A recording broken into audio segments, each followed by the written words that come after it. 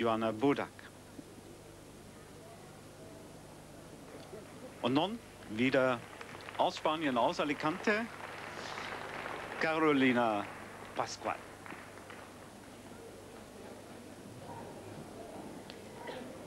Ja, der Ball muss in der rhythmischen Sportgymnastik ganz pfleglich behandelt werden. Der darf also nicht so gegrapscht werden wie im Handball, sondern der muss immer locker auf der Hand liegen. Auf der offenen Hand? Auf der offenen Hand, ja. Kann man dann auch mal sehen. Und so muss er auch gefangen werden. Er darf also nur ganz... Jetzt, jetzt sieht man ja, es, ja. genau, wie er da liegt. Er darf auch nicht an den Unterarm geklemmt werden bei so einer Spirale. Und wenn man sieht, wie sie fängt, dann auch Ja, mit der Hand so ein bisschen grapschen tun sie hinten auch, bleibt. Aber ähm, das würde also böse abgezogen werden, wenn sie das dauernd tun würde. Da auch mit der offenen Hand. War wieder ein Risikoteil mit den Knien gefangen.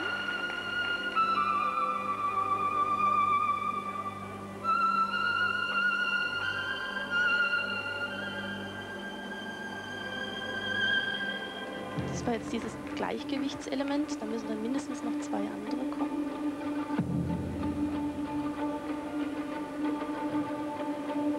Tiefe Rückbeuge ist auch eine Mitschwierigkeit. In Verbindung mit so einem Wurf.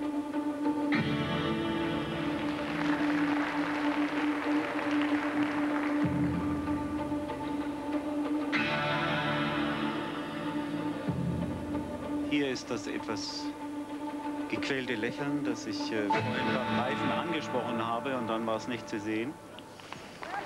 Carolina Pascual aus Spanien.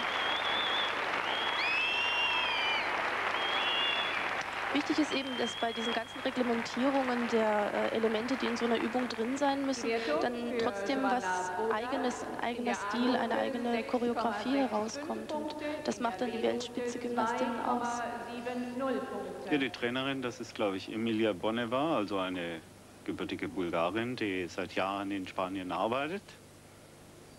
Hier haben wir nochmal die Höchstschwierigkeit in der tiefen Rückbeuge gefangen. Aber ich glaube, sie hat mit der recht linken Hand noch ein bisschen nachgefasst. Das ist dann an und für sich keine Höchstschwierigkeit mehr, wenn sie mit beiden Händen fängt. Das war jetzt das Risikoteil mit den Knien oder in der Kniekehle gefangen.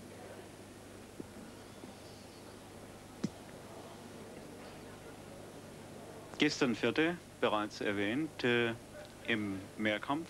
Sicherlich ein guter Platz für Carolina Pascual.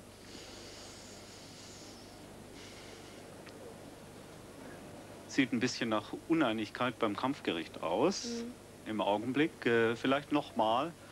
Vier Kampfrichterinnen geben die sogenannte A-Note für die Komposition und den technischen Wert und äh, vier achten in der B-Note auf die Ausführung. Mhm. Aber da ist hier schon die Wertung Aus der 9,525.